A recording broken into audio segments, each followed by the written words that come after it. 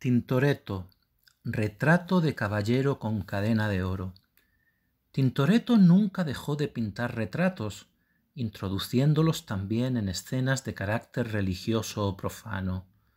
Lleva a cabo una progresiva interiorización en la representación de los personajes, profundizando en clave psicológica en cada uno de ellos. El presente retrato es ejemplar en este sentido.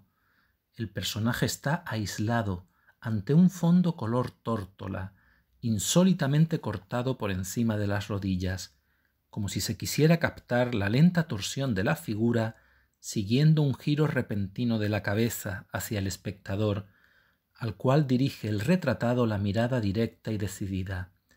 Sus rasgos son modelados por el haz de luz que baja desde la izquierda y que contribuye a poner de manifiesto la resolución plástica que emana de la figura. La luz se desliza sobre los hilos claros y ralos de los cabellos y la barba, muestra la curva de la cadena de oro y luego traduce las arrugas del encaje blanco del puño en un fragmento de extremo realismo que dirige la atención sobre la manera firme de sujetar los guantes con la mano. Se diría un retrato al estilo de Tiziano, pero más desnudo y moderno mientras que los retratos ticianescos parecen aislarse en una única e impenetrable dignidad, los de Tintoretto buscan el coloquio con el espectador.